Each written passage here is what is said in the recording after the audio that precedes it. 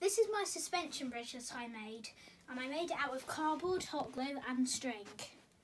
It has 58 strings, as in not, and is 92 inches long.